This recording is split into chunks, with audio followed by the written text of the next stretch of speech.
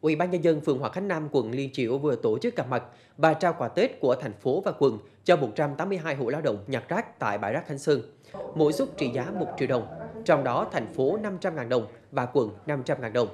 Đây là việc làm thiết thực của các cấp nhằm giúp các hộ nhặt rác đón một cái Tết đầm ấm và đầy đủ hơn.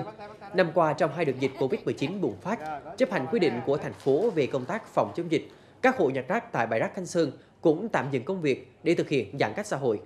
Phát biểu tại buổi gặp mặt, lãnh đạo quận và phường đánh giá cao việc chấp hành pháp luật của các hộ nhặt rác.